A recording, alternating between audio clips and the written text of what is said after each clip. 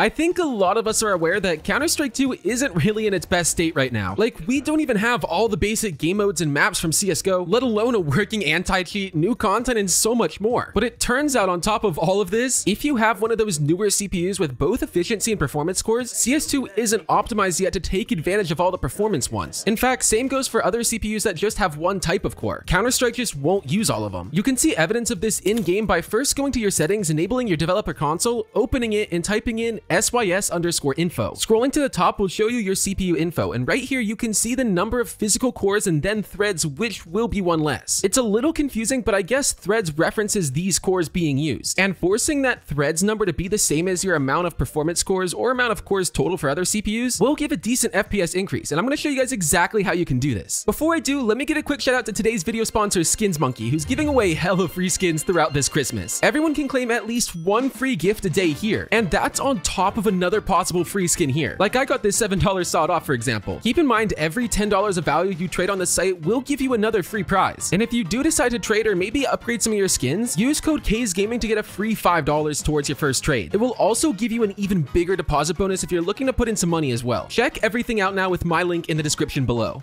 All right, with that all out of the way, let me just say right now for the people who don't want the longer explanation of this, I do have a quick version of this tutorial posted on Shorts and on my TikTok, so you can go check that out if you want, but I saw people getting confused in the comments, which is why I am making this video too. Anyways, I discovered this Reddit thread the other day thanks to my homie Thor over on Twitter, and you can see it caught my eye because this is claiming that you could boost your performance by 20 to 25%. I wish I could explain this fully, fully in detail, but this guy kind of says it right here. It's evident that not only are E-cores broken for CS2, but hyperthreading in SMT as well. Basically, the way CS2 utilizes your CPU isn't nearly as refined as Counter-Strike Go, for example. And I mean, yeah, CS2 does have a pretty big graphics improvement, so it's definitely using a lot more of your GPU than only your CPU, but at the same time, your CPU still needs to be offering the game as much power as possible, because at the end of the day, it will help communicate with the GPU faster and everything. I'm sure some people are going to be doubting that, because you know, how, how does a game franchise this big mess something like that up? But if you do come into your game and open your console, like I was saying in the intro, typing in sys underscore info and pressing enter is going to bring up this massive load of information. If you simply scroll up to the top and then go down just a little bit, you'll see your CPU cores right here, and then two lines below that, you'll see your engine thread pool right here. I personally have a 12th gen i9, so I have 16 cores as this says right here, and then 24 threads. This engine thread pool number though seems to represent the number of cores, these, this number of cores,